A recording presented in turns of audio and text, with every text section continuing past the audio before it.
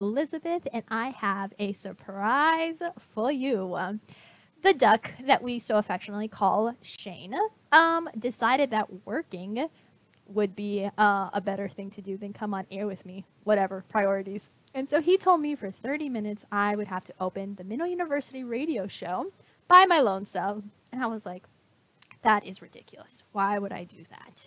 When I could have some of my besties come join me. So I have the beloved Shoe Girl and the beloved Lena here with us today. Say hello, ladies. Hello. And if you guys will put yourself online, the beloved Rondon will make you on air as well so they can all enjoy our lovely presence. Thank Woo, you. That's the first time I've seen my name up the top. Yay. Look at that. Feel mighty, feel proud. And let me change that since we are no longer at the other show. We are at the Minnow University. And for those of you who don't know, typically this show is called Don't Blame Shane, Kubby Told Me to Do So. But today is the Minnow University Radio Takeover. And moving forward, it sounds like this is what we're going to do. We will pick a topic and we will dive into it and depict on what it is, how to explain it, how to better understand it. Yes, the pink is taking over, Ron. Beware. And so it is I, the pink professor. You may call me Miss Elizabeth. I will change my nickname in here.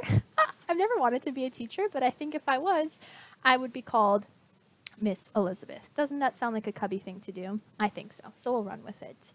And as you might have seen on my post, or Shane's post, or Isara's post, or the MSP Waves post, sounds like we post a lot, but we are talking about wallets. Since all of you are on Steemit, you might have noticed you get this lovely thing that you claim and it becomes either Steem or SBD in the wallet section. And for some of you who are new, you may not understand what that all means or what in the world are you supposed to be doing with this wallet? Well, just like in the real world, your wallet holds all the funds that you have in two different types of currencies.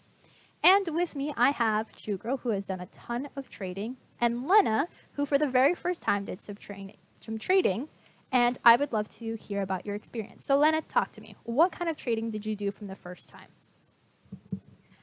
I took advantage of the rather high SBD numbers, and everybody kept saying, "Oh, this Christmas was great because I had SBD and went up and everything." And and um, Gmux was saying this was the first time that he didn't actually go into debt over Christmas Wow. because SBD was so high. Yeah, and I thought, man, I, I want to get in on this. I've been I've been on Steemit since May, I believe, and I have never cashed out anything ever.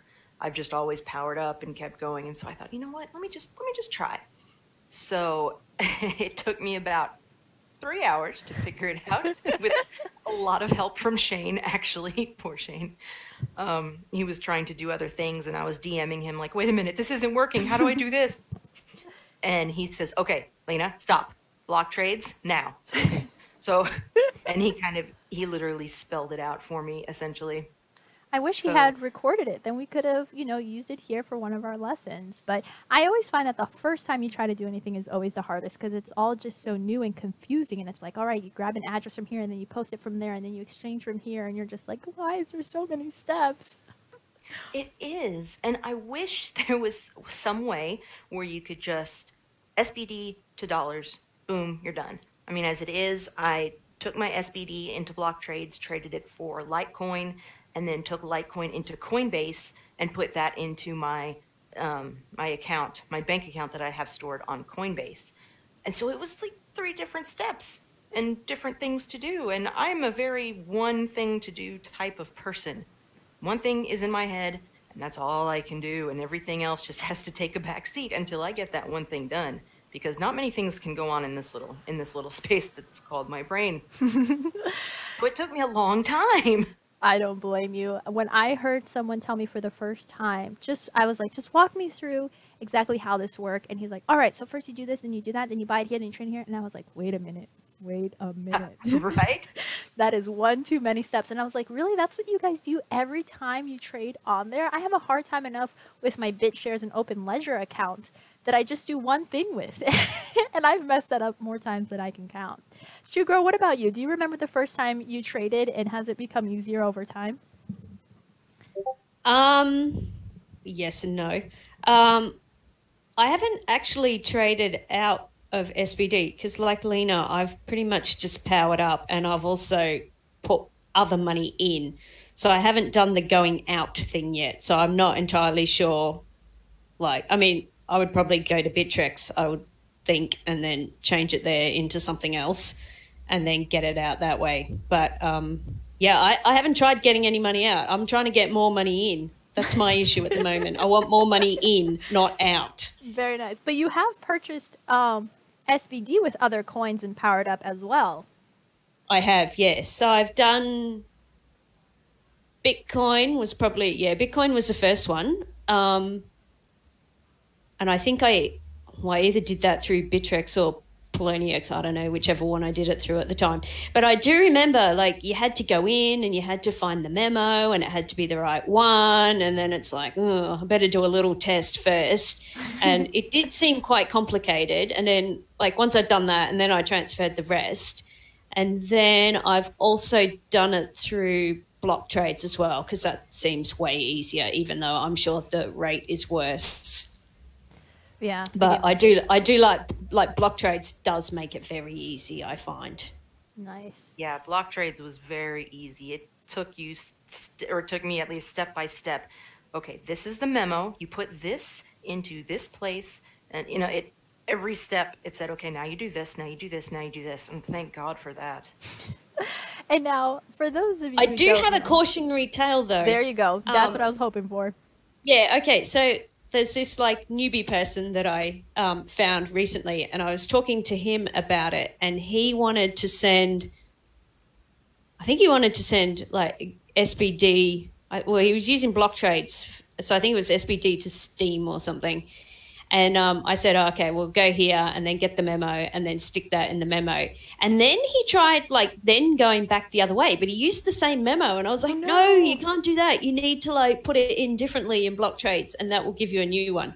So then he had to email block trades and say, I fucked up. Can I please have my money back? Which block trades did but it was like oh i hadn't Wow. even considered that like for me it was just natural like if you if you're going from one thing to something else you need to put it in again in block trades and get the new memo whereas he thought you could just use it for everything so Yeah.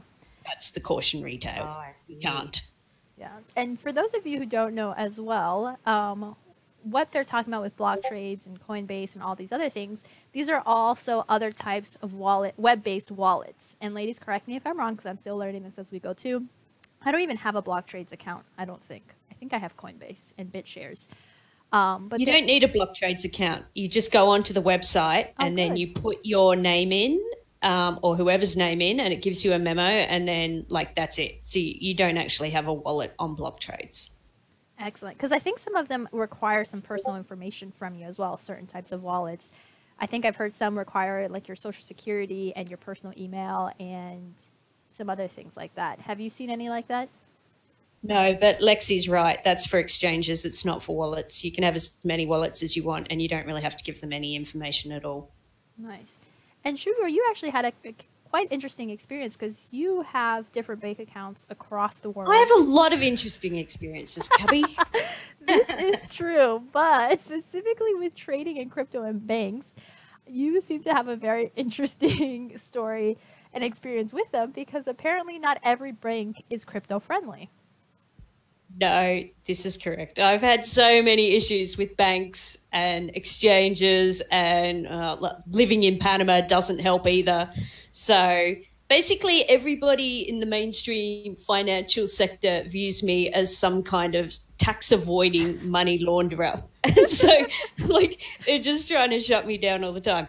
So, my first problem that I encountered was oh, it's going back over a year now. And I had a Citibank account here in Australia. And I know Citibank is shitty bank and that they're rubbish. However, like Citibank in Australia have the best bank account for traveling because you don't pay any fees like on anything and you get um, like free ATM withdrawals. So they like if Oh, the bank you're taking the money out of will charge you, like that's out of their control, but they won't charge you. And any Citibank account, oh sorry, any Citibank ATM anywhere in the world is basically free. So for Aussies, it's awesome. It's the best traveling account in Australia, and anyone who travels overseas, I would highly recommend getting one. That being said, if you then want to transfer money to a Bitcoin exchange, it's a whole different story. So I like I closed all my other accounts before I left Australia because I was like, well, I don't really need like however three, four, five, however many bank accounts I had here. So I shut them all and just had the Citibank one. So that was mistake number one. And then I started transferring all this money to Bitcoin and then like people from Citibank in Australia are like ringing me up going, What are you doing? Are you trading Bitcoin? Blah blah blah. And I was like, No, I live overseas now. I'm just like moving it overseas anyway, they didn't like it and they sent me a letter saying, We're shutting your account. So then I had to take all that money out and basically transferred the rest of it into Bitcoin because I had no other accounts to move it to in Australia. I mean, uh, I did send some to my US account. Um, but yeah, so I had no bank account in Australia. And then fast forward a few months, and I also had a whole bunch of like share trading accounts in Australia as well. And I thought, well, I better do the right thing, update my address, and told them all I was living in Panama. And then it's like, you've got 10 days to close your account because Panama is not within the Australian regulations. Um, like, you need to sort this out. And then I was like, well, fuck, I, I have nowhere for the money to go because I don't have a bank account. And that's why I ended up like having to come back in April this year. So basically, I bought a ticket to Australia for two days' time because I was looking, I was like, there's no way I can sort this out. I have to go back. And I thought, I'm not ready to jump on a 24 hour flight tomorrow. I'll do it in two days. So I came back and I opened a bank account, which I did send some money to a Bitcoin exchange to the other day, like just a little bit, because my sister wanted me to buy her some Bitcoin. So I thought, well, I'll just like transfer it across and see what happens. So I'm waiting to see if my current Australian bank account shuts me down then I had another bank account in the UK because I used to live in the UK for a while and I've kind of kept all of them going because I also had shares in the UK. But the UK is really annoying. It's it's very hard to have a bank account there unless you're living in the UK. So basically I've been lying for the last 10 years and using a friend's address just so I can keep that account open. But now they're cracking down on it even more. So I was like, nah, fuck this. Like, they can all go. So I sold all my UK shares and then I closed, I, I transferred the money from that to, I've told you about Uphold, like the, uh, it's kind of like a banking exchange thing where they trade, where you can buy and sell crypto and you can also hold, hold currencies and there's also some precious metals. So I transferred it to that. So that was all good. But, um, then I have a SpectroCoin card. And then a couple of months ago, Visa started shutting down like all these like Bitcoin Visa cards. So I had one of them, and that was like the main way I was spending money because I would just transfer fiat into like Bitcoin or whatever. I'm just using Bitcoin as general crypto here and so I'd transfer it, and then when I needed money, I would like put it into SpectroCoin, and then like sell it for dollars, put it on my card, and then it's it's the same as having a Visa debit card. So then Visa decided to like shut down all these like Visa cards unless you had a European address, and then I'm like, ah, fuck, fuck, fuck, fuck, what am I doing now?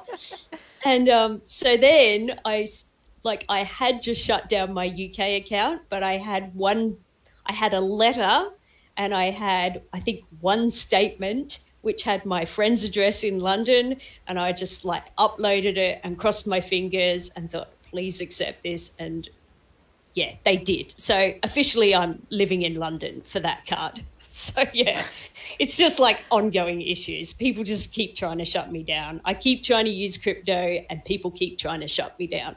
But I haven't had any issues in the last probably two months, so it's going pretty good at the moment. Woohoo! now, for those of you listening who are feeling super overwhelmed and have no idea what the heck she's talking about, feel that would be me and I. It's okay. It's all right because it sounds like a madhouse. And trust me, I have no idea. She lost me after she said she flew back to Australia for two days to open a bank account. What kind of world do we live in when we can't do that online? It's madness. It's crazy. Well, I did end up staying here for three weeks because it was Easter at the same time, and I thought, oh, nah, might as well make a holiday out of it. that is hilarious. I'm sitting here thinking, like, oh my gosh, my family's from Brazil, and we travel to and from back in uh, Brazil all the time. And I remember the few times that we did go, sometimes we would tell the bank and have no issues. Sometimes we wouldn't tell the bank and have no issues. Sometimes we would do both and have issues. Gabby, either we're way. losing you here. Uh oh, can you hear me now? At least. Yes. Okay, thanks. Uh, I can hear you fine. Okay. Sometimes I would travel to Brazil and there would be no issues. Sometimes we'd go and there'd be a ton of issues. But I remember whenever we swipe the card and they say, oh, your card isn't going through or it's declining, and we'd have to call the bank and it was like an hour process of being transferred from here there. Why are you in Brazil? How long are you being in Brazil? Do you commonly go there? Has your credit card been stolen? Blah, blah, blah, blah. So it's such a hassle. So I can't even fathom when that goes from crypto into regular banking accounts. But we will get Well, the upside is if you have like a, a, a crypto Visa debit card, you don't have those specific issues because you can just like they don't care. You can just if you if you spend money and the pin number's right or whatever, like it's all good. So you don't have the banks going, hmm, we don't like you being in Brazil. We'll just put a freeze on your card until you call us and tell us. So you like these are separate issues that you have from the mainstream banking just like being annoying and bossing you around. Oh my gosh. I guess being a world traveler has its downsides. Little did we know. But that's all right. We made it through. yes, it's it's terrible. oh man, that is awesome. But anyways, you survived and you lived it through. So you guys if if you are ever traveling and you're having issues with the bank and you're trying to get it from crypto to whatever currency or Just bank that you want, me. I've Yeah. probably experienced she will probably even have a direct contact for you at that sh- uh, at that bank. So just stand by. Now, Lena, did you have any issues with your bank accepting the currency that you were changing? No, none at all. I have Chase, but I mean, then again, I'm in the States, so Yeah. I don't know. You weren't trying to do anything internationally. Well, we all we live and we learn, and now she's just I like to call a true girl many things, but bank expert's definitely up there in the title list for all that. I agree I think I think getting around banking bullshit expert is is better. I wouldn't say I'm a bank expert, but I have found like workarounds. exactly, and that, my friend, makes you an expert for all of us who have not had these issues, and hopefully will not. Knock on wood, that's for sure. oh man. But yeah, it should be fun. So, you guys, fear not. There are ways around all this crazy wallets and transferring from crypto to regular currencies. And one day we will walk you through that. But I just wanted to bring on these two ladies and share their experience because I know True Girl is an avid trader on there and has some experience with it. I didn't realize you've never traded um, crypto into a currency that you can use daily. Um, Well, no, I just put it on the SpectroCoin card and then that's it. But I will say, like, and this is one of the problems with mainstream adoption is like you have to really really want it like i've really really wanted to like use crypto and spend crypto and the amount of roadblocks that have been chucked up in front of me like most people would just go uh, i'm giving up i'll just go back to using dollars or whatever so at the moment you have to really really really want to use it and you have to learn how to use it and you have to learn how to like play all these banks at their own stupid game and like i just this isn't good for mainstream adoption Not at all. Not at all. I can't even imagine. And if I, I mean, Lena, you had a hard enough time just trading it with the help of some of you know Shane walking you through it. I can't imagine people trying to do this on their own. Uh, Sugar, you mentioned that you purchased uh, Bitcoin for a family member. Now, did you buy it for them and then transfer it to them, or did you walk them through how to do it? Um, no, my sister is not very good at computers. Like she freaked out one day when I told her, look, her her Wi-Fi printer stopped working, and I said, I'm in Panama. I can't help you. Just plug the cable in. And she was like, Oh my god, I don't want to plug the cable in. What if I fuck it up? And I'm like, It'll be fine. It's a cable. So no, she did not buy her own Bitcoin. I bought it for her. And I heard a lot of people say that during the holiday season when, you know, the Bitcoin started to pick up all that phase and SBD was really high, everyone wanted to get into it. Even my brother, who a couple of months ago when I told him I started blogging on Steemit, I was like, yeah, it's cryptocurrency. So basically they pay me in this online currency for it and I can cash it out if I want to or I can just use it to trade with other things. Um, and it kind of just blew his mind and that was that. Well, he comes back for Christmas and he's like, I've done my research about the Bitcoin. I was like, You mean you watched a couple of YouTube videos? He goes, Yes, same difference.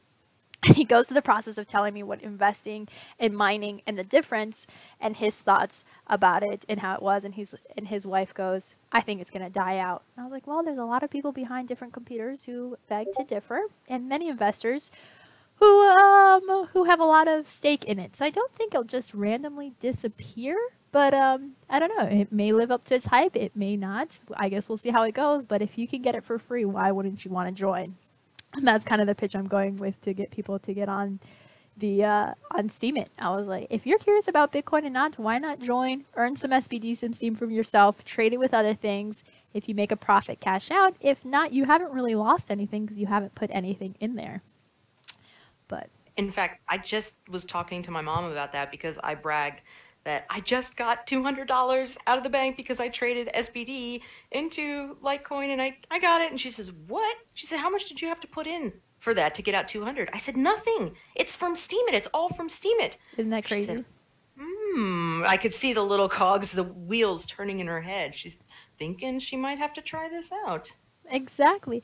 Now, I'm only nervous about a few things with this, and ladies, let me know what your thoughts are. So, a couple of months ago, there were a couple of people posting about taxation and the tax on crypto and all that nonsense and what their thoughts and theories were behind it. Of course, there's nothing out there right now to tax us on it, at least not that I know of. But there are some thoughts about claiming this um, as personal or private um, gain for it. And so they said that the big thing is if you just keep it within Steemit or within other coins, it doesn't really make sense to uh, claim it as capital gain. However, if you have cashed it out into the currency in which form you use, then it is technically considered as capital gain from it or personal financing or whatever phrasing you would like to use in the financial word. And therefore, you may be or may have to claim it. Now, what are your thoughts? Now, Chugro, I know you live around the world, so the rules may be different for you. But Lena, since you just cashed out, did you have any thoughts about this before you did? Is that something that's on your radar? What do you think? Oh yeah, definitely. Well, it's the same as trading in the stock market. You essentially can trade untaxed, but as soon as you take out money, then then they tax you for it. Um, I will try my darndest, and right now, because it's this is so confusing for me right now. I'm just going obvious, like I transfer through Chase and Coinbase, which has my name and information. I mean, they have my bank account, obviously. Mm-hmm. But if they start taxing, I'm definitely going to start going underground with this because that's the whole point of cryptocurrency. Um, if they start taxing it, and I get that once it becomes more mainstream, they will tax it because it makes sense for them you know they can they can promote say hey yeah this is a great new way da, da, da, da, da, and they'll make money off of it. The more people that use it the more money they'll get. So it'll definitely i can see at least they will try to tax it in the future. But i don't think that's very cool. That's that defeats the whole purpose of cryptocurrency for me. I agree. And then it begs the question too like should you get a bitpay debit card to where you can just pay for things with the debit card and the exchange kind of happen through there so you're not technically cashing anything out. I've also heard and read that if you cash out less than 10,000 I believe the number was, then you're exempt from any sort of taxation or anything like that. That's in Australia. So I can ah, add to this conversation. So first of all, like a couple of months ago, Lexiconical wrote an awesome, what was it, three or four part article on tax in the US. So you should go read that. Mm-hmm. Get a cup of tea before you do it because it's long and it's complicated.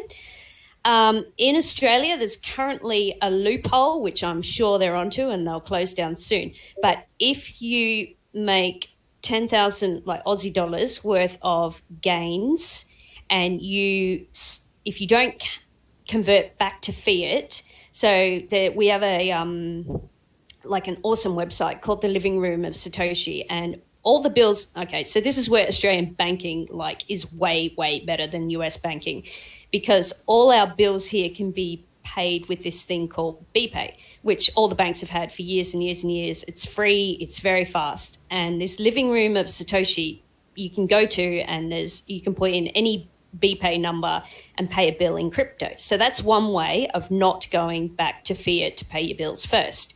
Uh, or you can go to some of those like websites. I think there's a couple of travel ones that accept Bitcoin or whatever. So as long as you're paying in crypto and you've got up to like $10,000 worth of gains in one financial year, and that's all tax free. But I'm sure they're going to close that because it just sounds like too good not to for the ATO.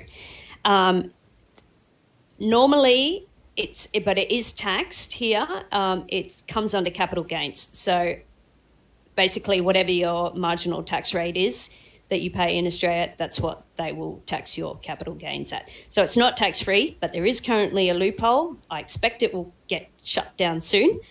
But then I heard something interesting the other day, and I, mm, I don't know, let's call it a grey area. So um, Jeff Berwick was talking about the whole um, whatever the tax thingy in the US coming after all the Coinbase people, and he made the suggestion that if you've got stuff in Coinbase, move it to another wallet, and then tell the tax office that it was stolen and that they should fuck off because you don't have access to that money anymore. It was taken out of your Coinbase wallet, so it was stolen by hackers. I mean, how are they going to prove that? If you like transfer it around other wallets, like I don't see how that they can prove that you own those wallets. Or if you, or and then especially if you move it to something like Monero or whatever, like then they've got no chance. So yeah, but that's an idea. If you've got a lot of crypto in Coinbase and the tax office is coming after you, move it somewhere else tell them it was stolen, and yeah, see what happens. Write a write a post. I'd be interested to know.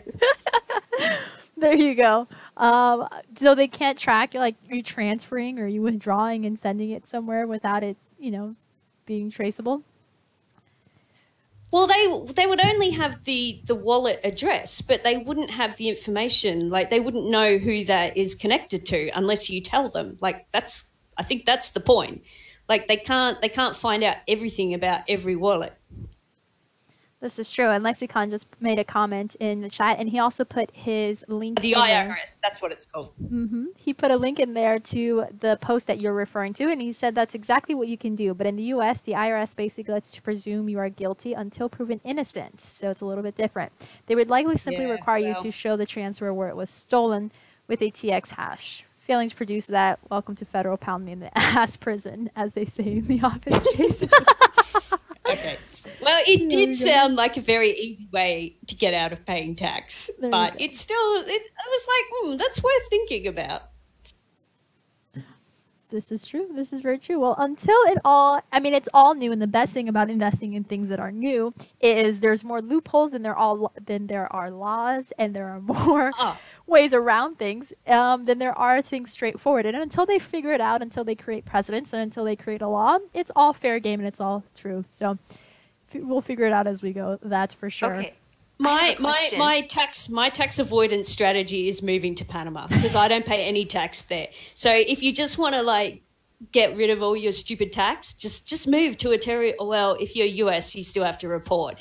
But like if you're from any other country, that doesn't have like the US tax system, you can just move overseas. And as long as you're resident somewhere else, like then they can't come after you. So yeah, if you want to get out of paying tax, just move to Panama. It's awesome. There you go. And the weather's great too. the weather. Oh, so I have a question. So Coinbase, the the government knows about Coinbase. They're shutting things down. Blah blah blah. What's another site to use other than Coinbase to convert crypto into fiat? I use Uphold, like you can do it through that, and I have that linked to my because I have a Hawaiian bank account which I opened like one time when I was on holiday there, so that's why I have uh, an account there, which is not one of the crypto friendly US states. So I can't actually link that to Coinbase. So I can link it to Uphold and I can do like transfers between it and my Hawaiian bank account. So that is one way to go between the two. There you go. Um, and if you're in Europe, it's also really good because that's the where I transferred, like I had pounds and then I transferred it into like their pounds account and then I could buy crypto. So I do like Uphold is pretty good for moving money between the two, but then you are, I mean, you still have to pay the wire fees, which is annoying, but that's, that is one way you can do it. Um, I don't know about other US accounts because that's I've only had to deal with this Hawaiian one and their lack of integration with Coinbase. Okay, good to know. Thank you. oh, jeez. Sugar, what would we do without you in our lives? We would just be lost puppies, just wondering all this nonsense. I'd be very oh, interested. Oh, I've, I've found out, like, the only reason I know all this is because, like, I've told you, I keep getting shut down, and I'm like, okay, well, I can't do that. What else can I try and do? And I just keep trying things until I get something that works. Well, you may have to give Lexiconical your WhatsApp phone number because apparently you're going to be his go-to um, to go help him bail him out of jail. Which you know you could probably do with some some crypto, and he could pay you back in crypto too. So it'd be a beautiful exchange. Awesome. I'm, I'm sure the US government would love to receive some Bitcoin for Lexi's bail. They would. It would help with their pension that no longer exists. But that's a conversation for another day. Lena, have you had any success convincing any of your family members to join um, to join Steemit or to start investing in various cryptos? No. Short answer, no. They're interested, but they haven't actually done it yet. Yeah, they're we're starting to talk about it. They don't seem too interested because oh. whenever you say blogging, they're always like, "Well, I don't like to write." I was like, "Yeah, me neither." But you know, we do what we can. Actually, I did convince my sister's boyfriend to buy some Litecoin back a few months ago. And so, via my sister, he has told me that he's made some money from the Litecoin jump. So, that was awesome. Nice. That's nice. Yeah. Yeah, I was pretty proud of that one because nothing ever works for me. So, that it worked for him, I was like, yes, I gave good advice for once in my life. Well, there you go. Now I'm curious, ladies. Now, when you trade from SBD to Steem, do you always use the internal market um, located in your wallet, or do you do it um, outside in other sources? Um, I either go through the internal market or I have used block trades. But interestingly, Bulleth wrote an article the other day, and if someone wants to go dig around on his blog, you'll find it. And he was saying that we should all go through uh, like Bittrex or something to like create external demand because people outside of the Steemit world like they don't know there's an internal market and that there's demand for Steem. And so we're all doing ourselves a disfavor by trading it on the internal market because it's not showing up externally. So i thought that was quite an interesting take. Even though it's like way more complicated because you have to convert like send it to bittrex and then i don't know like if you then i don't know if you can go straight from sbd to Steem on bittrex or you have to go via bitcoin because if you have to go via bitcoin it's like no that's way too hard so I, I, I haven't actually looked into it but i think that i was like yeah that seems like a reasonable idea to show that there is actually demand on an external exchange That's a good point. How about you, Lena? I've always used internal because it just confuses me otherwise. internal's very easy and i think that's why we all use it and it doesn't have any fees attached to it either Mm-hmm. Now, I'm curious to know, do you ladies know, now, Sugar, I'm assuming you do because you do a couple more trading um, than I have, or Lena, but do you know what the difference between the buy price and the sell price is? Well, one, well, yeah, there's always a spread between the two. So the buy, like you'll buy at the higher price and you'll sell at the lower price, basically. If there's two prices there, that's that's the market rate. Whatever the buy price is, and the sell price is, it's the difference between the two. So whichever way you want to go, you'll you'll probably get the worst one unless you put an order in at a specific price. Which we'll go into a little bit later as well and show you guys exactly what we're talking about. The nice thing about the internal market, it auto populates for you what the buy and the sell price is. So it's not something you necessarily need to know. It is listed there for you. But for example, on BitShares, for me, when I go to the internal market to do any kind of trading, it does tell me what the buy and the sell price. And if I go to sell the particular coin that I'm going into, it doesn't auto populate. So I have to bid at the highest one. And the only reason why I know this is because I bid at the wrong level. And as she said, you can make a bid higher or lower than what's there, but then it doesn't always change. Auto- the exchange doesn't always happen automatically.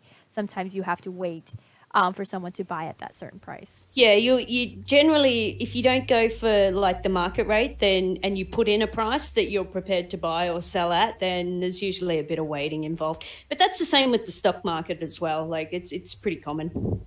Oh, well, it goes to show how often I'm trading on the stock market as well. Never had to do that. We're living And I don't the- like to do that because waiting makes me nervous. It makes me think that I've done something wrong. Exactly. That's how I feel too. Now, do you ladies remember the first time that you um, did the power up in the internal market and what that experience was like? No, is the short answer. it was so long ago. I don't blame you. How about It you? was a long time ago. I joined in May. That's like I don't know, like hundred years ago in in Steemit years. Sure. right? I don't know if I remember the first time, but every time I power up, I just like to see the numbers go up. I get I get super psyched. So it's like it's like a brand new feeling every time. It's like Christmas every time I power up. I don't remember the first time I did it either, and I probably had to look at some tutorial in order to make it happen because I just remember it being so confusing and looking at it and I was wondering, I was like, what the heck is even going on? What is this internal market? What if I put it in the wrong one? I probably did put it in the wrong one and then it didn't work and I was just a lost puppy. And have you ladies ever put um, SBD into the savings account in your wallet? No, I'm not really sure what the point of that is. Yeah, ditto. Me neither.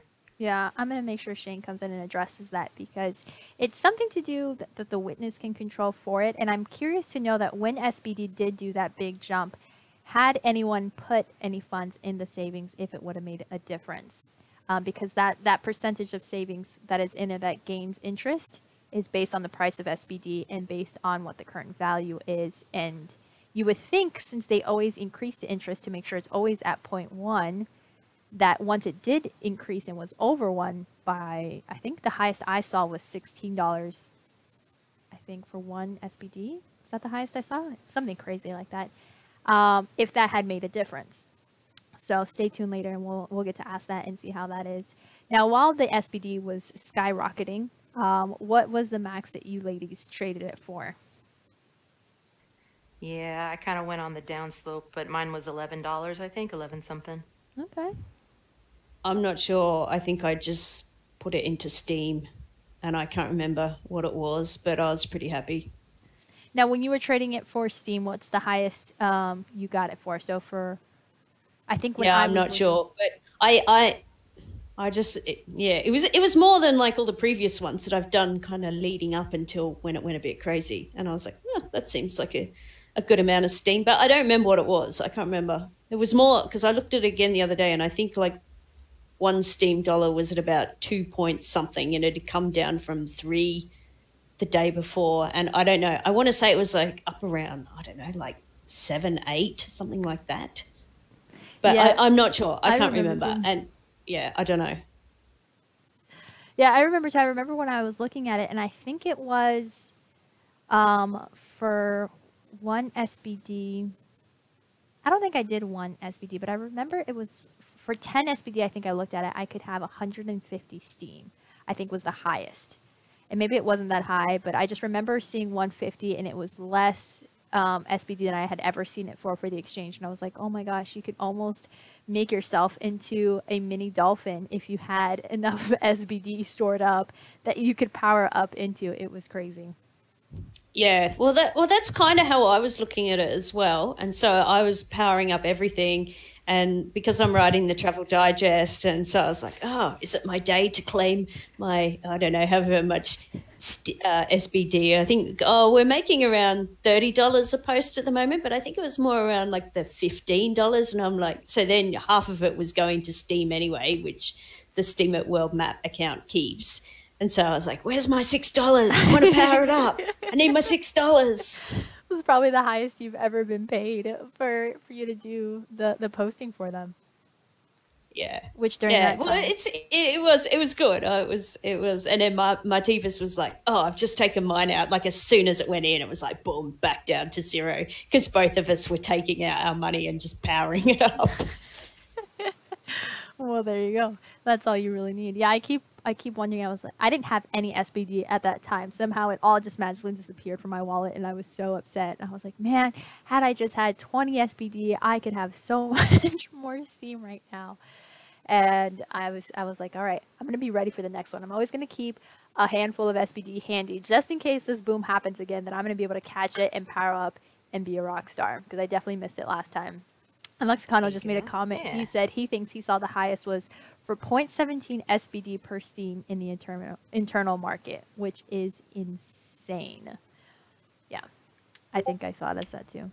Are we going to get another one though? That's the question. Or is it a one-time offer and now it's back to normal? You know, I, I like to think about it. I don't know if you ladies remember when Bitcoin was about to be split into two, and it was going to be Bitcoin and Bitcash, I believe it was. And there was all this talk about, you know, is it going to go up and is it going to go down? And it had that big jump, and then it finally split and it kind of settled and it jumped up recently now. I think every year around this time before the new year, we're going to see a big jump like it. But Oh, did you? Speaking of Bitcoin, did you have Bitcoin yesterday? Because apparently there was another fork. It was like Bitcoin God or, or Bitcoin Santa or something. I don't know, but it was happening on the twenty fifth. Yeah. Dang it, no, I always seem to miss these things. like. I have bit I have Bitcoin, but I have so little Bitcoin that I can't actually trade it. Oh, is your Bitcoin worth less than the fees? yes, Because Yep, that's really shit. that's how much Bitcoin I have. Yep. That is hilarious. Well, that's more Bitcoin than I own. I don't know any. so you, you got yourself going there. At least you have some. Which wallet do you have that in? That one, you know, on oh, that's in Bittrex. Okay. Yep. There you go. Yeah, that's not even in a wallet. I just keep that on the exchange because it's it's so little, it's non-existent. what about you, Chu? Sorry, I pulled my um, headset out, so I didn't hear the first bit. What? That's okay. Um, she was talking about. I asked her what wallet she has her Bitcoin in, and she said Bittrex. And I asked you, where do you have yours? Oh, I keep mine all over the place, Kubby. Smart, smart. But I am like for a sort of like a, a hot wallet. I like um, Exodus. That's probably my favorite one for the hot wallets okay. because I find it. Yeah, I I find it very easy to use. It's got Shapeshift built in. Um, yeah, it's just a nice wallet. Now I I only have one, but I should probably start looking into other. And there's are a couple of posts out there that talk about different types of wallets.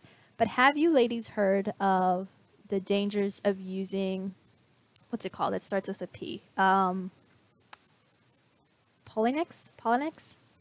Poloniex. Poloniex. Although, according to Lexicon, Exodus isn't very safe either. But I've heard that trading on Poloniex actually has uh, a lot of issues, and I don't know if it's been resolved. So, since you have it, Shu, have you heard any of this, and have you experienced any of your crypto getting stuck in the market? No, um, no, I don't really use. I've used. I think I've used it once or twice. Um, but no, and I don't keep money on exchanges anyway, so it doesn't typically get stuck there. Maybe that's the secret of success. If you're going to trade it, trade it and then get it out because Well, yeah, because I mean that's where most of the hacks happen anyway. It's on exchanges, so like the advice from most people is, you know, just put it on there, do your trading, and then get it out again. Wow. So I guess every coin has a different one. Because in my mind, I don't know if you think the same, Lena, but if I'm trading in the wallet, it would make sense to me just to leave it in there until I'm ready to cash it out or move it elsewhere. I wouldn't think to trade it and then move it in order to safe keep it. But apparently, even Lexicano said that he's had thousands of dollars in Bitcoin locked up by Coinbase for almost three years now, which is insane. Well, I don't know if, if there's a wallet that is an exchange. I think the two are separate, right? uh, generally, well, they could be both. It depends on the wallet. Ah, okay. Yeah. See, I have I have a paper wallet, as it's called, though it's not made out of paper. I have one of those Ledger Nanos for my Litecoin, which is, you know, I, I really like it. But I've just downloaded Jaxx. Um, I've never used Jaxx before, and I haven't gotten it set up yet because I have some OMG, and that is Ethereum based, and I haven't figured out how to put that on my Ledger Nano yet. So I'm gonna put it on Jaxx until then. Yeah, I I, haven't used Jaxx, um, but yeah, the the Ledger Nanos or whatever the other one is, like they are the safest ones because they're external to the internet, basically. So they can't really be hacked unless someone has your details and has access to that thing. So they are the safest way to hold your cryptos is in a nano wallet or I forget what the other one is. Oh, is it? No, that's a Tre- ledger. There's a Trezor. Trezor, Trezor, that's yeah, yeah. that's what I'm thinking of. Yeah, and that you should buy them direct from the manufacturers, not off eBay, because then, like, if you buy them off a eBay supplier, you don't know if they've been tampered with. So there's a tip. Right. Hmm. Well, there you go. wow. There's so much to learn, so much to do, and I cannot be more grateful to have both you ladies on here. So, for the last 15 minutes that I have you on air with me, why don't you tell us a little bit of what you like to do and all the various things that you do on Steemit and on other Discords? So, Lena, I'll let you go first.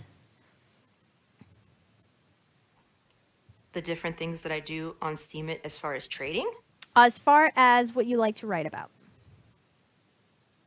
Oh, um, I don't write much these days. um, let's see.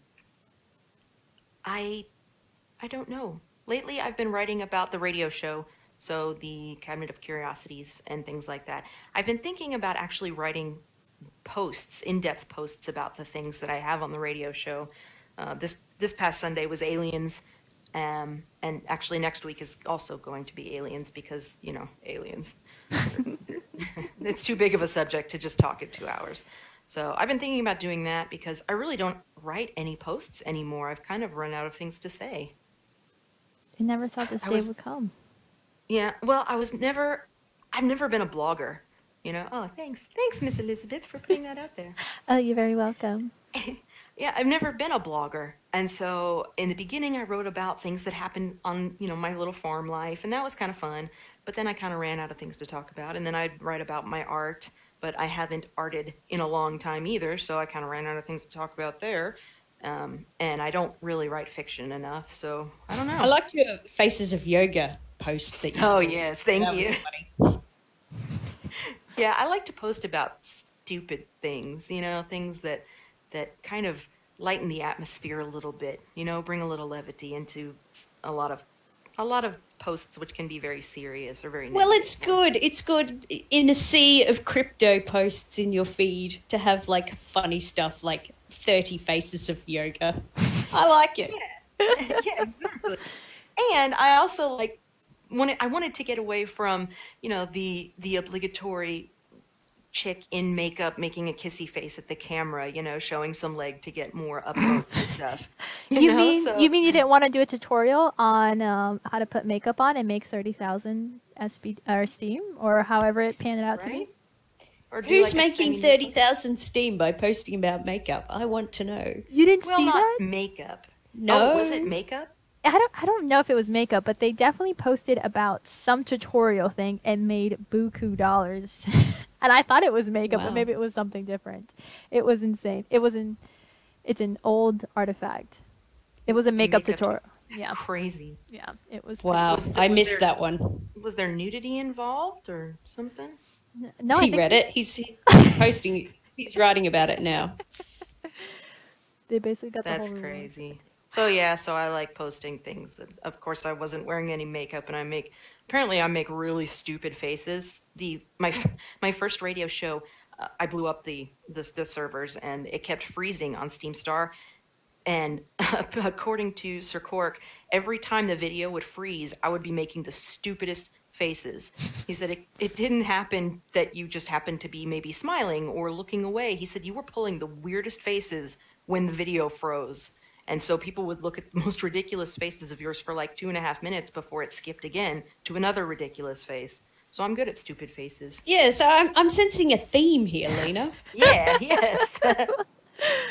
I'll just make stupid faces. In fact, I've been thinking of doing a like a, a hair um a oh what, like a a hairstyle photo shoot. Recently I got in the mail something from Aveda and it had this this woman and she had her hair styled three different ways and one of it said beachy and one of it said classic and one of it said I don't know trendy or something like that. And I wanted to do that with me be, because I, I have my I have a shaved head. I don't have any I was going to say, so- don't you have short hair? I have no hair. So I wanted to do, you know, beachy and then the same, literally the same picture, trendy, the same picture, maybe looking another way, classic. I like it. I would totally upvote that. Yeah, I Just think because it would be funny. It would be hilarious. You definitely have my support on that as well. So I did Cool. put her link in there. Her show is every Sunday. Now, what time UTC? It is 9 p.m. UTC. And what time is that Eastern for the rest of us? Mm. Oh, Eastern, 4 4 p.m. Eastern, 3 p.m. Central. There you go, folks. Check it out. I love it. I hop out of my show and I run over there to listen because I don't think she makes stupid faces. I love her face, but it is quite entertaining to watch her expression as she tells us these awesome stories about um, just about anything. We talked about Ghost, and you talk about what was Fairies. fairies. I missed that one, but that one sounded hilarious for sure. And actually, if anyone has any stories of odd or unusual things that have happened to them, DM me on Discord. I want to hear all about this stuff like Loch Ness Monster, Bigfoot, Chupacabra, anything, strange Wendigo sighting in the woods. Just, you know, hit me. I love I love to hear all this stuff. And uh, if if you wouldn't mind, I could read it on the air and you could be famous. Boom! That is a secret of success. Thank you so much, Lena. I appreciate you being here. Her link is in there. Go check her out. Now, Chew Girl. Let's go on with your long list of activities because Homegirl is. Oh, and I forgot to mention before we jump to Chew Girl, Lena it does a lot of editing. So if you type any post in a Google Doc and you want to leave it in the spelling or grammar channel, she will edit it for you. She's phenomenal at it, probably the best. I can't believe she puts up with all the things I put in there and edits for it. She is awesome. Do it. Use Just it. proofreading. Just proofreading. Yes, it's awesome. All right, sorry about that. Go ahead, Shoe Girl. Now tell us what do you like to write about on Steemit, and what are all the various activities that you're currently involved in? I feel like I repeat myself every time I talk about what I'm doing on Steemit because it's you make basically it sound like it's a bad thing. well, I don't, I don't like ninety percent of my posts now are either Team Australia updates or uh, travel digest stuff. Like that's it. I don't write about anything else, and because I don't have time for start, and then like Lena, it's like, well, I don't really have anything interesting to write about. I mean, occasionally I do, but they're few and far between. So yeah, so I write Team Australia updates, and I now have like I'm not even looking for people at the moment. I have a backlog of people I have to introduce. I think I've got like 12 people at the moment going. Oh boy. Where's my introduction? Where's my introduction? I want I want my dole money. I want my Centrelink payments. Anyway. And so I've got that. And then usually I try to make them a bit more interesting as well by talking about like either stuff going on in Team Australia. So, uh, like this Saturday, we've got the meetup happening here in Brisbane, which hopefully people are going to come to, and I'm not going to be sitting there on my own like some kind of idiot. Um, and what else? And then there was like some Christmas stuff that Matt Clark was doing. So, if there's something going on in Team Australia, generally I'll find out about it and I'll give it a, a bit of a um, a promotion or if there's something going on with MSP, because I've promoted your stuff a couple of times, Kubby. So yeah, because you're awesome. Like, if there's if if, some, if people have got something interesting going on, particularly if it's related, like I like to keep it Team Australia or MSP because you know they're the two things that I'm most involved in. Then I'm happy to give um, shout outs and promotions in that. Um, and then the Travel Digest one, I typically write two days a week, but this week I've done three because Martibus was in Malta and he dropped his GoPro down the cliff and I had to go get it and didn't have time to write Gosh. Travel Digest. And I was like, okay, well, you go find your GoPro, which he didn't. It's in the ocean somewhere. Oh. Um, so that's the other one. And now I spend a lot of time like um, doing the Curie work because I'm always like going, oh, maybe I'll just spend 10 minutes looking for something. And then, you know, suddenly two hours has gone past. And you've either found something awesome or at the moment, I haven't really found anything in the past two days. Oh, gosh. well, yeah, I mean, because there's not been a lot of stuff It and then I just keep, or or like this morning, I find like scammers, and then I go, hmm, I'll report this to Steem cleaners. So I spent like a good half an hour this morning, like reporting this person's posts that they plagiarized over the last six days, just going Steem cleaners, Steem cleaners, Steem cleaners. so yeah, like Nice. it- I get a warm and fuzzy feeling either way, whether I get someone a hundred dollar upvote or I get them knocked down to a rep of eight. Like either way, I feel good about it. So You're doing Like, the community what- so good. You, am, recruit, you I am. curate for them, you find new members, and you get them uh, connected with other Aussies, and then you find the scammers of the Steemit world. I do. Well, they piss me off, and like they're taking up room in my like SQL queries. I'm like, why are you here? You're just you're just annoying me. So I'm like happy to report them. So they're the they're the main things that I'm doing really, and and not much else. Like being on the radio seems to be a bit of a thing at the moment. Yeah, this is true. Never a bad thing. Well, guys, I put their links in there. Ladies, thank you so much for helping me through this first hour. You ladies are awesome, and I had time to write a new post and post it out there for the next show, which will happen in an hour, guys. So stay tuned for the first time in the next, not this coming hour, but the following one. Uh, Scaredy Cat Guide and Uniwis are both in uh, Long Island, I believe, and they'll be doing their own show where they'll be drinking and playing music and having a grand old time. So it'll be a meetup and a show up and it's going to be awesome. So check MSP Waves. I just posted about it. Um, you can come see it there. And um, ladies, thank you so much for talking to us about your experience. And I'm going to go ahead and kick y'all ladies out. So say goodbye. Bye, ladies. Bye. That is awesome. So you were just listening to True Girl and Lena um, sharing about their experience. I know it's a bit overwhelming. There is just so much going on with the wallets, with um, uh, crypto and trading and all of that. But as I promised in our wallets, until Shane decides to show up, we are going to do some learning. Now, this is a lot of basics, and most of you kids have been here for a little while, and you already know this information, and I'm still learning it as we go. Um, so, as I mentioned, we are going to be talking about wallet basics, and as you heard from these two pros, there's a lot more that goes into it, but understanding the fundamentals will kind of help you get a better gauge. And then, really, when the time comes where you want to take it a step further and do a little bit more, do not hesitate. Ask one of us. We will direct you in the right way and um, walk you through the steps for it. But I wanted to share this link with you guys because before the show, I was looking at where I could find information on wallets. And oh my gosh, Lord and behold, look who's here. Hello, friends. For some reason, it's not the same when you do it because I think it sounds better when I do it. I don't know why. It's just weird. What, what's going on? I, I've missed an hour here, haven't I? You have. I had Shoe Girl on. I had Lena on. We were talking about wallets. We were talking about trading. We were talking about banks. We were talking about all sorts of things. Um, but then I told, and then I felt like we weren't really getting down to what the heck basics of wallets was. We were jumping too far ahead. So I kicked my two best friends off, and I shared a link from the frequently asked questions on Steemit Inc. And I was about to do some reading about what the wallet is and some different things like that. So you came just in the right time. It's like you knew. Yeah, I'm sorry. The today just got. Uh, we had a great show, Shane. I doubt you can top it. Says Chew. you know, she's pro- she's probably not wrong. You know, I probably I probably should cut the first half one and make it its own series, and then like have the second one be what we were actually going to talk about because it, it was pretty phenomenal. I'm convinced that the three of us could have our own show, and it would be flawless because an hour passed by and I didn't even notice. And I was like, whoa, I better get down to business. Wow. So, so okay, give me the TLDR because I haven't been able to hear anything. I've been out in the middle of nowhere, Texas. Wow, check yeah. you out.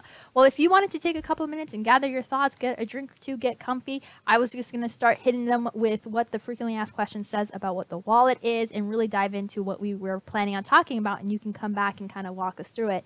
But with the girls, we were talking about since Girl has actually done some trading, so her experience with that. We talked about the various wallets and trading platforms she utilizes. Lena actually traded for the very first time SBD into cash, and so she talked us through that whole experience and what that was like. And she says you actually were the one to walk her through it and how overwhelming it was and how there were so many steps and how frustrating it is that there isn't an easy way to do that. And we kind of chatted a little bit about that and um, it kind of went you know everywhere from there and then we brought it back then we went crazy again and then we brought it back and so on and so forth. Yeah that first time using block trades if you're sending it out somewhere is kind of scary because mm-hmm. you're not really sure what's going on and then it kind of magically appears. So yeah let me let me get settled here. Okay. you go ahead and get started and i'll hop in when i can. Cool. Alrighty so that link that i shared with you guys i am if you go onto the twitch feed on msp waves you will notice that I am actually screen sharing with you because I want you guys to take a look at what I'm looking at. So I'm just trying to position it here on the MSP Waves, not MSP Waves, the Steemit Inc. website. And let me actually move some things around so that way I can take a look at what you guys are taking a look at as well. But I just wanted to show you that on the uh, Steemit Inc. website, you can actually go there and get a lot of your basic questions answered. Now, when I first joined, I had no idea this thing was even there, but it is, and it's a beautiful thing. And it actually has a section there on wallets and what is all included in a wallet. What the heck is a wallet? Why do I have a wallet in there?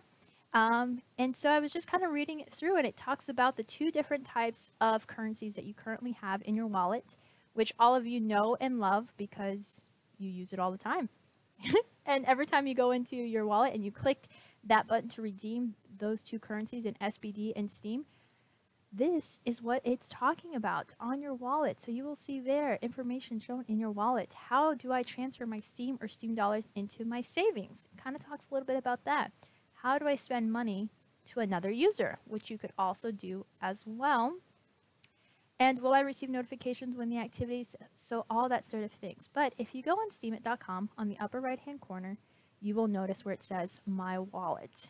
And if you click on there, boom, your wallet magically appears.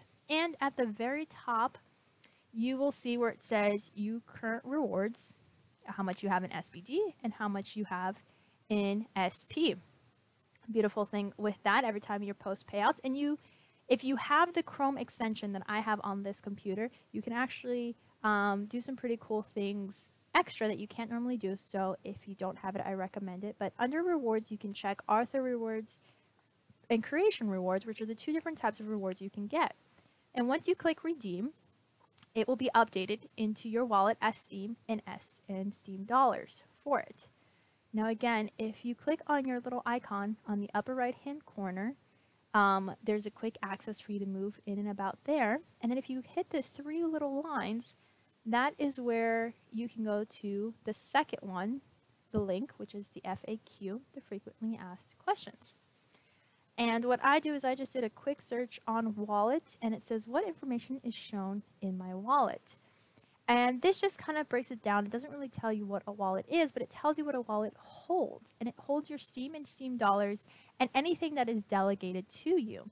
Now you may be wondering, well, how will I know if someone delegated to me or not? Excellent questions, my friend. Well, if you go back to where we were before in your wallet, in your Steem, it has how much you personally have built up by either transferring from SBD into Steem, um, into Steem, and then Steem Power. And just under that, you'll see either a plus or a minus, and that shows how much people have delegated to you or how much you have delegated out. Ideally, if you see a negative sign, that means that you how much you have delegated, and if you see a plus, that's how much people have delegated to you. Now, if more people have delegated to you, um, than you have sent out, it will send a plus. It doesn't separate the two. Um, but that shows all there. And then we have the savings account that we mentioned before that we're going to ask Shane about, about how it has zero APR right now, but witnesses actually have control over whether that changes or not, or it's there. And then um, just below that is some interesting information where it has the estimated account value of how much your account is currently worth. Now, I was always curious to know how did they come up with that number? Because if you look at my wallet right now, Steem Power, I have um, a thousand Steem. I have about seven. Uh, I'm sorry, I have a thousand Steem Power. I have seven Steem, and I have about 59 SBDs to my name. So how in the world did they come up with this 3,352 value for it? That is something we will also cover once Shane decides to join us back in. But if any of the audience know um, what that is or have any questions so far, or if you would like to answer any of these questions as I ask them for the audience listening, feel free to type that or feel free to let me know and I will bring you on here so you can chit chat. But that's kind of like the basics of where to find your wallet in steemit.com. Now there you can find other things as well, and the longer you've been here, this is all mundane stuff that you do all the time, like you click your blog, you click your, your wallet and your settings, you look at this all the time, and you don't really think about it. But oftentimes, how much, how often do you forget from the beginning how confusing it all was and what it all meant? But it's extremely important that you understand how it works so that way you can further invest in it. So, as I was talking about before, in your wallet it holds something called SBD, Steem, and Steem Power. Now, what in the world is the difference between the three. And it's funny because you would think as long as I've been on Steemit that I would know this like the back of my hand and it'd be no problem. But I always forget when I am transferring from one to the other that Steem Power is very different than Steem. And we will even ask Shane if you can even tr- um, trade in the open market Steem or Steem Power. I think you'll be interested to know that you can actually do it with one, but not the other. Do you know which one it is? I've, think you might be interested to know. You you were saying Steem or Steem Power Mm-hmm. Or SBD. or, or SBD. Yes, you can openly trade Steem or SBD. You cannot openly trade Steem Power. Boom. There it is, folks. Don't forget it. So, in the internal market, you can trade SBD into Steem and Steem into SBD, but you cannot trade Steem Power in the open market. But you can power down from Steem Power. Now, I've never powered down before. So, Shane, when you power down Steem Power, does it automatically convert into Steem or does it convert into SBD? Um, in the internal market, I believe. I'm sorry, on the internal wallet, I believe it powers down into uh, um, into Steem, um, and you can yes, you can power up another user, as Clay says here. Um, so you can give another user Steem power from Liquid Steem. Um, Very good. And in the frequently asked question place, it does tell you the difference between Steem, Steem Power, and Steem Dollars. And as he mentioned, Steem is the basic liquid currency token in the platform. Steem can be powered up into Steem Powered, traded for Steem Dollars, and transferred to other accounts. It is a cryptocurrency token similar to Bitcoin. Now, Steem Power is abbreviated by SP, as you'll see all the time, and people refer to it as SP. It's a measurement of how much influence users has in the Steem network. The more Steem Power a user holds, the more they can influence the value of the post and comments. Steem Power is less liquid. If a user wishes to power down SP, they will receive equal distribution of the Steem weekly over a 13 week period. And that is to help balance the ecosystem of Steem so people aren't just making $30,000 on a post, powering it down, and escaping, and we are left with nothing. So there is a balance to that as well. Last but not least is our Steem dollars. Commonly abbreviated SBD are liquid stable value currency tokens designed to be pegged at a dollar. Steem dollars can be traded with Steem and transferred to other accounts for comments or exchange. Steem dollars may also be converted into Steem in a process that takes 3 to 0.5 days. Steem dollars can be used to buy things in the marketplace, such as purehub.com or other platforms. So there's lots of things that you guys can do in the wallet, lots of different places to go. I don't know if you guys have heard to other radio station, but some people don't even realize that you can do this in the internal market. Some people use other like Bittrex and other trading platforms in order to do this. And I have heard that some can make more by doing it in other platforms and others cannot. So it just kind of depends. Am I right, Shane? You're right. It all depends on your timing, um, how much you're doing. If, if it's a small amount, you may be better off just using the internal market. If it's if, if you're doing a large, large amount, and when I'm talking large, I'm talking hundreds and hundreds at a time. Um, that's when you may want to use an external market. But for the most part, if you're a minnow and you're looking to exchange back and forth, and you're not doing a ton, um, internal market's going to be e- your easiest and best bet to do. So, a ton of information there, and I know most of you already know this, but if you guys ever have any questions or doubt or just don't know how to phrase it, they really break it down um, in the frequently asked questions. So, that's always awesome. And in the post that I did today about this show, I did link a couple of uh, Steemit accounts or posts that explain how to do it in the internal market. So, feel, feel free to click on those and learn as well. They also walk you through how to cash out on Coinbase. And there's also a YouTuber video in there on how to do it as well. So lots of different options for you. If you're a visual learner like I am, I kind of need someone to show me. Sometimes the, the screenshot pictures don't do it because they skip certain steps or you don't realize now you put your password. So yes, it's normal to put your password and get to it. Um, so to me, it has to be dumbing down to the dumbest. So for me to make it work. So, Kubby, Mhm.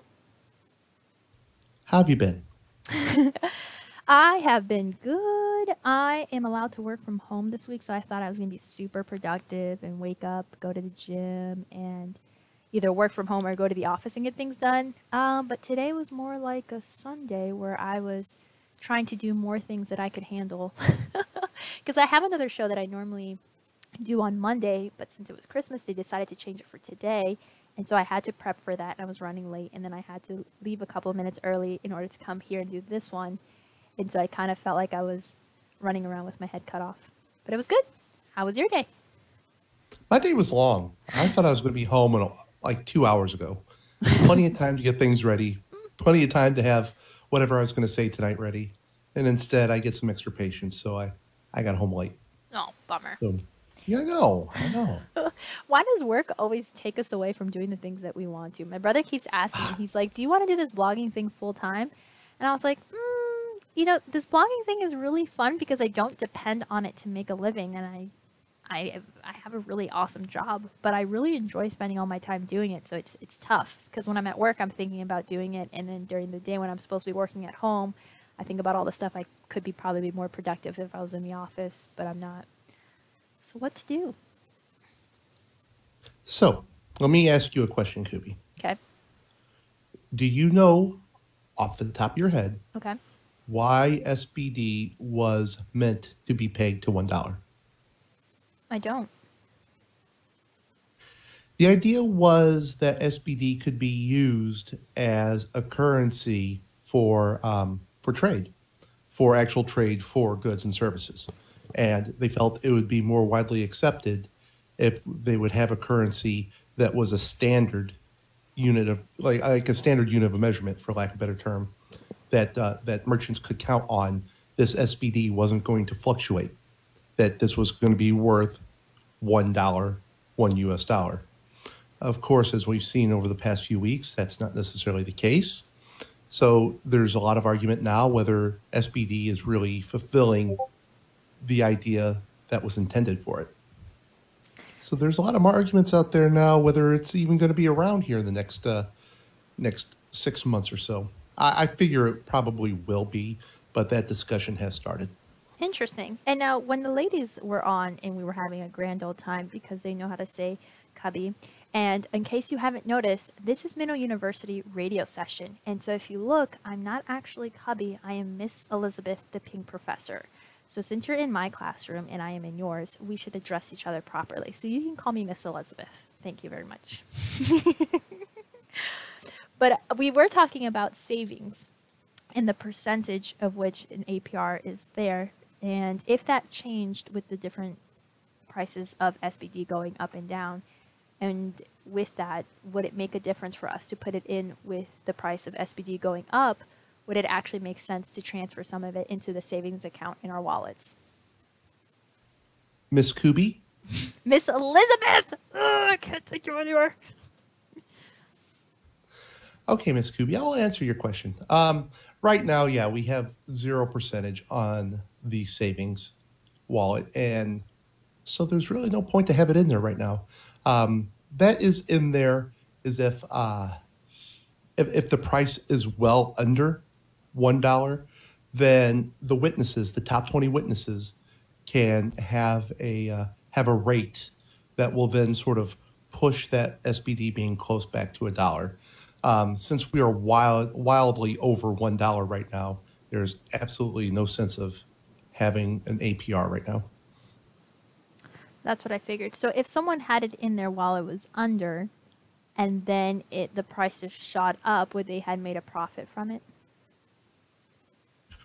I suppose they could. I haven't seen it work long enough to actually uh, um, to see how that would work. I don't. I, I I get the feeling the witnesses there in the top twenty are so on top of their game that I'm sure if it if it was under and there was an APR and they shot up real quick, that they would have that APR dropped before you could blink an eye. Interesting. Meaning that I doubt there would be much of a profit being made on Yeah. the uh, on No. the savings. I agree. I just think it's it's interesting that you would think that would be a loophole, but that's something that is so watched over that maybe is not as big of a loophole as I thought it would be. Um, Most of the loop most of the loopholes are fairly well covered, either by witnesses or by the setup of Steem itself. Uh, For example, the I, I heard you talk about delegation earlier, Mhm. and the uh, the reason there's a seven day cooldown when you undelegate is to close that possible abuse of Steem Power loophole. Oh, interesting. I didn't know that. Yeah, so it that that prevents someone from delegating to an account, vote, vote, vote, vote, vote, taking that delegation and putting it to another account and vote, vote, vote, vote, vote. So that seven day cooldown prevents that from happening. Now, I was talking to them before about the time frames of which you can power down. Some of it's 3.5 days, the other one, I believe, it's 13 days. Now, what was the thought process behind that, and how did they come up with this number? Uh, I, I'm sorry, three days for power down. Yeah, there is one of them. Let me take a quick look at my notes again to where it takes three days in order for it to go from one to the other. Maybe power down is not the correct wording, but the other one is Oh, 13. you you were talking about the internal market when it comes to either convert or use the internal market. Um, let's see. If you do a conversion from SBD to Steem, or vice versa, there's there's a three day wait on it, and what you're basically doing then is burning Steem it's, or burning the SBD and making it go bye bye. Oh. And because it is, and on that it is a one to one ratio, which means you're not getting the best rate. Um, I don't really know any good reasons for any of us to use it. okay. You know, if, you, if you're going to convert, always use that internal market. Yeah. No, I agree. And we have heard from quite a few people who have done that and have lost money. And I, go ahead. oh no, no, go ahead. Oh. I, I was going to give you trouble, but I believe you powered, you did a full power up on a on a post instead of 50-50, didn't Okay, so that was just what I was about to say. So sometimes your pink professor here, in all her brilliance, um, does things that she is uh, still learning in the process because every professor had to learn at one point in time. And so I, at this time, I was writing post for a different account, and all the SBD went to them. And any personal post that I wrote, I always did 100% power up, so I always knew when it paid out that that would be something I could keep in its entirety. Well, it turns out when SBD is a above a dollar and you power up, you actually lose a ton of money into it because it's converted. And I don't know, and I didn't really care. I was just really upset because I was losing money in it. so maybe you can Okay, explain. so hold, on. D-Flow has a question here. okay. The difference between converting and buying Steem with SBD. Um, it, it's actually a really good question, and I do not. Re- you you powered up. Okay, powering up is different than converting. Converting is um, if you look under your wallet, and let me see here, and you click on I don't know. Let's just pick. Oh, let me get to an account I can actually use. I wonder if I still have the notes from. And actually, I believe they took conversion off because of um, SBD was, you know, you know what that did just happen. Tim Cliff um, was in the witness channel, so they took the conversion off there. It looks like, Oh, interesting. yeah, it looks like they, uh, it looks like the conversion is done. Really? yeah, it's not on there anymore. Look at that. I, I remember seeing Tim Cliff was talking about getting rid of it, and I guess they have.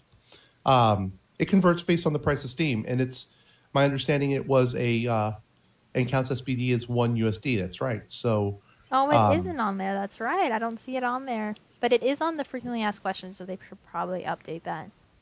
yeah, so we can we can cancel out, out that discussion. No, D-Flow, you did not do the bad thing because it looks like the opportunity to do the bad thing is no longer there.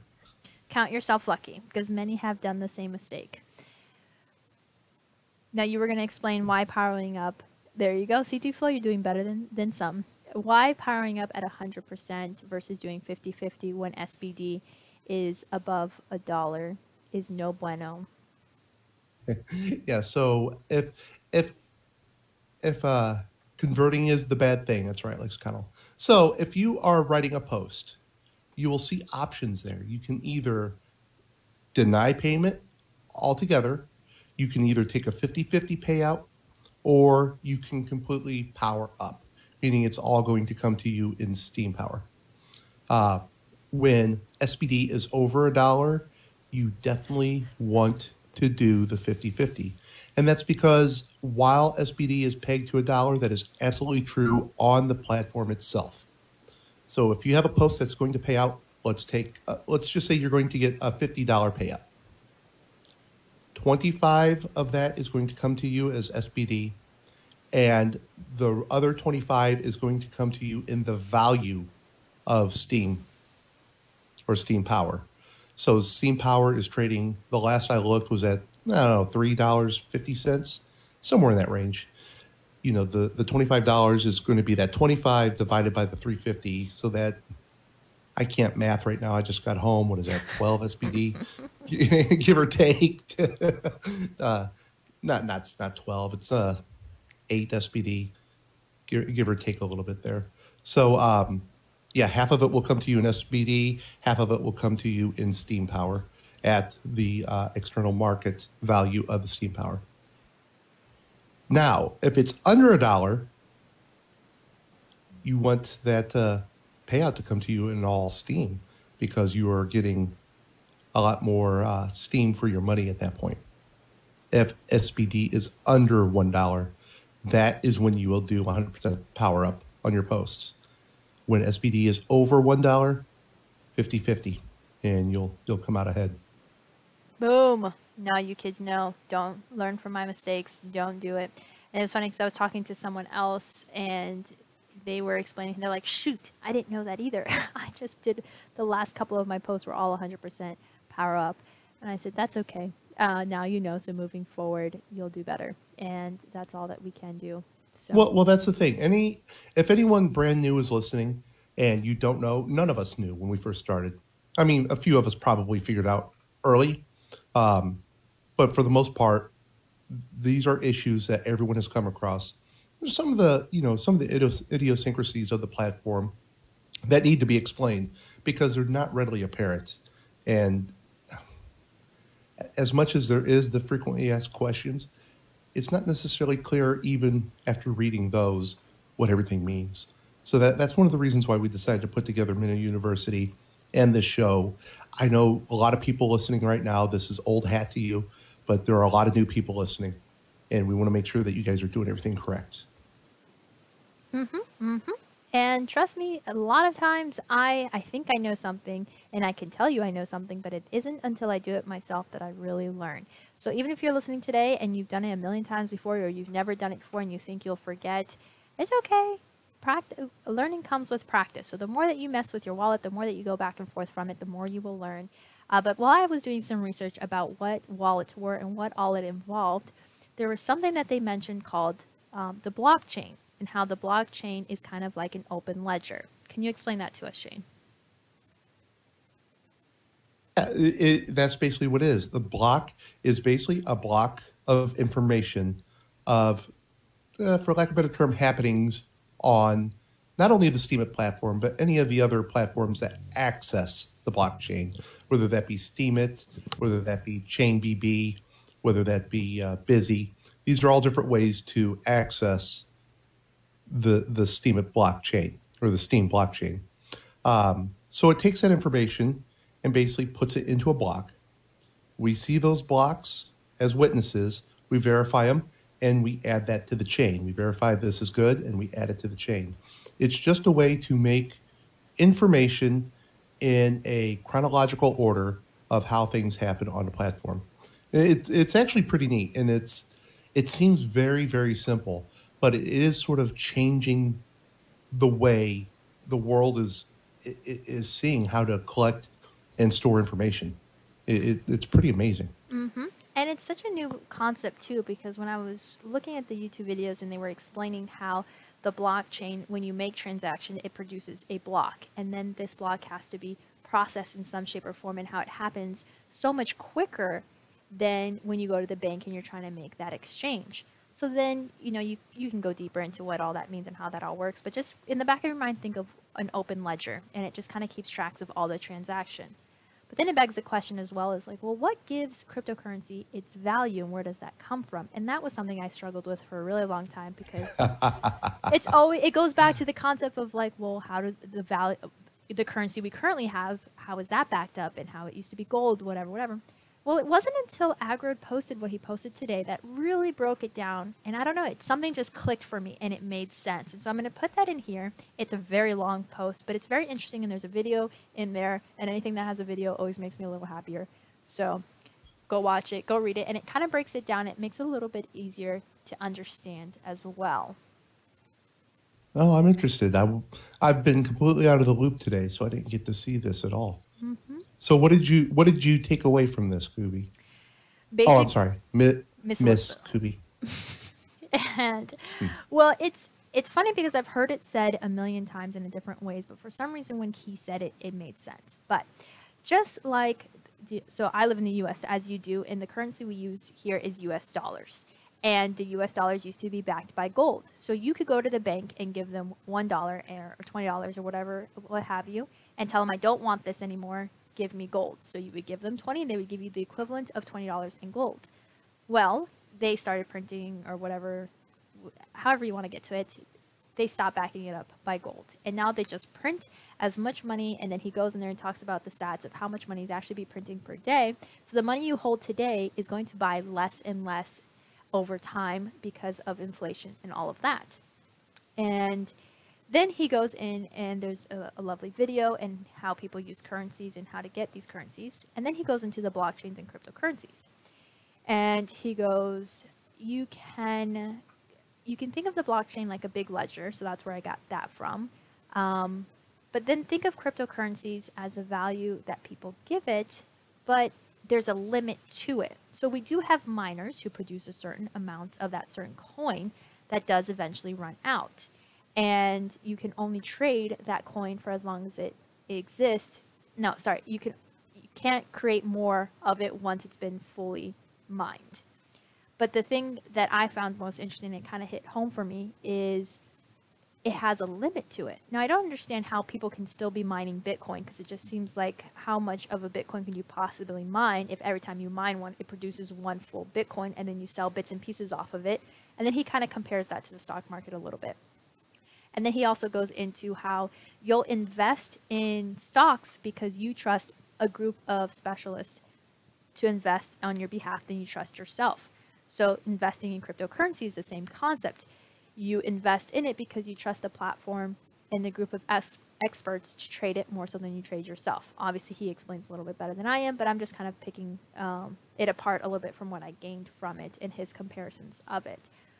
Fascinating to me, though, after reading it, I did have a questions where I asked him, I said, well, if cryptocurrencies can be mined, can't anyone just create a new coin and then just mine it? And wouldn't that create the same problem of having multiple currencies and inflation because you have so much of it and it isn't necessarily backed by anything? Um, and his response was, although anyone can create a new coin and you can mine it, there are certain there are ones that you trust more than others. And so to be weary of that and to do your research on the various coins that are more popular in the crypto world than others in order for you not to fall into these traps of false coins. Now, I don't know if that's going to answer all of your questions that you may have about it, but I thought it was an interesting read, and he does a really good job of comparing it, comparing it to the U.S. dollar and how we bank nowadays with it. Yeah, that's. I'm going to have to give this a good read afterwards and see what he has to say. It's a little much for me to digest while we're on air, Yeah. but uh, yeah, afterwards I'm definitely going to read this one. Yeah, there's a lot more questions to be asked about it, but he does a really good job of breaking it down, and I think I understand a little bit more. I still have some questions, especially when he gets into the whole taxation thing, because from what I've read, um, right now we're tax exempt because it's within the market, but once you remove it from crypto or from the market into U.S., Miss Kubby, Mhm. You're you're kind of cutting in and out on me here. Are you uh, are you holding down that push to talk nice and nice and nice and good? Or are you using push to talk? I'm not. I wonder if my internet's just acting funky. Hopefully, it will stop acting funky. Does everyone else think I sound weird, or is it just Shane? Because Lena said the same thing, and then it was fine on True Girl's end, so I don't know. She sounds fine. Okay, so it must be my end where I'm. It sounds like she's sort of going, and, and then you go to the Yeah, Agrode said, "Yeah, that's what I'm." funny. Yeah, but uh, as I was saying, it, with taxation, I don't understand how taxation plays a role in cryptocurrency because I don't think it does as of yet. Um, True Girl did go into a little bit of her travels and how she avoids taxations and all the loopholes that there are right now from the various countries that she lives in. Lexicon, I'll put in there that the IRS does assume that you are guilty and you have to prove yourself innocent. So that's a little different, but there are different ways around that as well. Um, and then correct me if I'm wrong, Shane, but I, I think if what I've read is correct, that if you cash out less than 10,000 US dollars from cryptocurrencies, then you don't necessarily have to claim it. I do not know the exact on that. I do know that um, apparently recently the IRS has talked to Coinbase about getting a list of their users that have done more than 20,000. Interesting. So it so uh, at this point, I do not know what the laws and regulations are, and I'm not sure if it's on a federal level or if it's going to be on a state level or what it's going to be when it finally does hit us. Don't get us wrong, taxation will hit cryptocurrency here. There's no way it's it's going to stay out of out of government's hands too terribly long. Um, there may be way to get around that a little easier than with um, credit and fiat money, but yeah, it, they will get their hands in it one way or another. Yeah. And so, you know, everything that you read on Steem, it obviously is published by authors here, and it's mostly their opinions. Some of them do put their sources on the facts that they find, but you just want to be weary of what state you're in, what city you're in, what country you're living in, and what laws are applicable to that. Since it is all new, as I was mentioning before with True Girl, there are a lot of loopholes to the system right now. And I think that's why I'm most nervous about exchanging SBD and Steem into cash because of the whole taxation. I'm not exactly sure how to work around there. Um, which now it must be the best time to cash out because there aren't really anything to hold you to it. Um, and until presidents, I'm sorry. I'm okay. sorry. I just I just saw Clay's comment. I do not consent to be taxed by a system that I'm not using. Good luck with that. I am very curious to know how it all works. Um, and as I mentioned before, guys, if you're feeling overwhelmed, if we're talking over your head, be patient, be patient. We've been on the platform for a little while, so some of this makes more sense to us than others. But trust me, sometimes people will start talking like Rondon and Lexicon, and it just goes right over my head. I was like, I have no idea. I, I just barely do my taxes and survive that, so I have no idea what you're talking about. But if you learn a little bit every day and you digest it a little bit at a time, it will make more sense over time. And that's what we're here to do to help you with it. And so, do you have anything else, uh, Shane, that you wanted to go over about the basics of Wallet or anything else that you'd like to touch base on?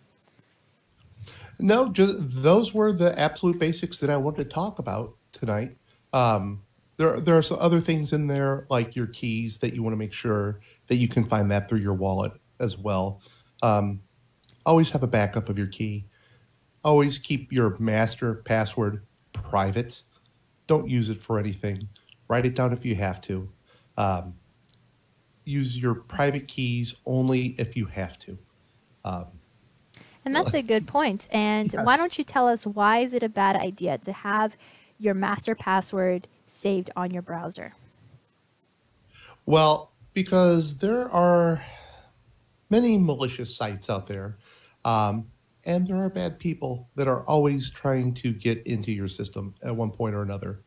And if it's saved in your browser, you if if you do a read around the news, you'll always see how there are always exploits that are found in browsers, and the people that are looking for passwords know this, so they know a lot of people like to store their passwords in browsers, and it's easy pickings for a lot of them to come in, grab your master password, and next thing you know, you're wiped out with no real recourse.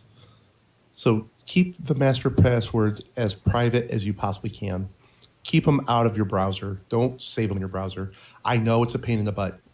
Um, I, I know those long, long passwords are a pain, but you're safer doing it that way than just letting whether whether it be Chrome or ooh, Internet Explorer or any of the others save it for you. Now that that begs the question: Why does eSteem ask for a private key? That's exactly what I was going to bring up. Thank you so much, Duflo, for asking that. eSteem asks for a private key is because that is an actual third party application that sort of posts on your behalf. Um, so they need your private key so that they can access your your account on the blockchain through their app. So whenever some of these are asking for private keys, it's so that they can access things on your behalf. Um, you'll see that with SteemVoter. You'll see it with um, well, Busy. Any of the condensers log in, um, will will ask for for private keys. Now, when you delegate or you're asked to delegate, and if you're using it through MSP and our tool, it does ask you for one of your private keys as well. What are the dangers of putting that there? The dangers are, I mean, it's, it's nothing's going to be 100% safe. Um, I do know that SteemConnect, which is the app that is mostly used for delegation, does not store the key. They're just using it to pass through to make a connection saying that, yes, this person has permission to do what we want to do with this account. Um, uh, so they will ask for the password. It's as safe as using a private key can be, which is not 100%, but it's safer than just giving it out at random. Um, And also, if you do the- any sort of financial trading, that's the same password that you use, correct? I, I'm sorry, say again, Miss So- Elizabeth? When you're using, when you're trading any other things that require your wallet, you do need that same password. It's two different passwords, than the posting than the one that you use for financial trading. That's correct. That's correct. So, which you don't think about because on your Steemit you log in with your master password that allows you to do all of it. However, if you are just using your posting one to post and comment and upvote and do all that, but then if you decide to do any transfers in your wallet, it does ask for a different password, not your master key, although you can use that one. But that other key that you use is the same one that we ask for when doing the delegation. So it's it's the same concept with that because I know a couple of people feel a little weary about it. Well, DFlow is asking if it's safe. eSteem, it asks for private active. Um, I can tell you eSteem is is safe. It is run by a very well respected witness. Um, Good Karma is the witness that runs eSteem, and he has been at the top three or four witnesses. Well, at least since I've been on here, so at least six months probably longer than that. And uh, it, it's as safe as it can be. I mean, eSteem is well respected. Good Karma is well respected. Um, I haven't heard any problems with eSteem. Um, yeah, exactly. Good Karma ain't trying to get no bad karma. Um, What are, good- what are the odds of that? good, good Karma is a top witness here. Top witnesses um, make quite a bit of Steem, quite a bit of Steem Power. Uh, it's it's in his best interest to make something as safe as possible. If he wouldn't, if eSteem was unsafe, you'd be sure that we would have heard about it, and that Good Karma would not be on that list. Oh, hi. Here's here's a new person, Crystal Patio 30. That person is new, and I noticed that uh, you've already got to him. Miss- yeah. Miss Elizabeth, come on, Shane, you got this. You're not you're not very hey, Scaredy and you Needle Whisper here. Hi, guys. They're super And excited. then, and then I missed while we were talking about taxation earlier. M. Sus said, as far as I know, that's not true. Um, and I don't know what you're talking about not being true. If you want to type in there so I can get a, a better idea of what what is or isn't true, I would I'd appreciate it. Absolutely. Now I am going to go ahead and end the recording for this version of the Minnow University radio session where we talk about the basics of the wallet. Thank you, Shane, for finally making it out and explaining that all to us. But we are going to end this session here, or at least the recording. We will keep chatting afterwards. I just want to uh, end it here before we start talking about other topics, not always so related. Say goodbye, Shane. Aw. Bye, Shane.